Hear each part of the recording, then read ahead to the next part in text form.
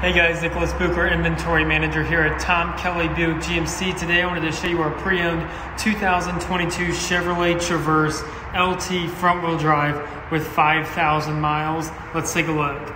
2022 was the first model year for the refreshed Chevrolet Traverse. This model came out back in 2018, but for the 2022 model year, they actually redesigned the front end. You do have LED lights. This one is also equipped with a nice set of 18 inch wheels.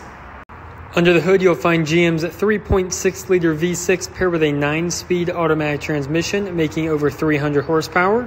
Here's a closer look at the front of the vehicle. This one is finished in North Sky Blue Metallic. It is a very nice shade of blue.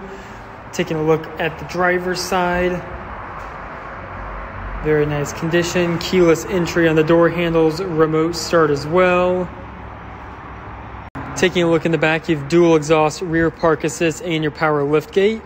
Um, the height of this is programmable as well in case you park in the garage. The third row is currently down, so here's a look at your space with those seats down. You also do have under storage, very accommodating as you can see. And there's a look at your space with the third row up. Taking a look inside, these do open up very wide, allowing easier access inside and out.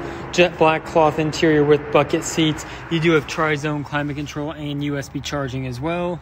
And on the passenger side, there's a lever on the seat that allows you to tilt and slide it forward, allowing easier access to the third row where you will find three seats and USB charging. This seat is designed to allow you to actually keep a child seat in place and allow you to move it like this. From the driver's seat, there's your mileage on this Traverse.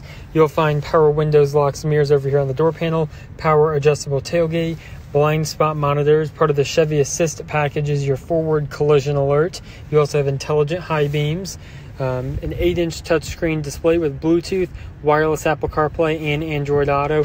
You also do have a surround view monitor with this technology package and GM's rear camera mirror. Dual zone climate control, heated seats, wireless charging, more USB chargers as well, and your lane assist, your auto start stop disable, and selectable drive modes. Check out availability of this Traverse on our website. The link is in the description below. Thanks for watching.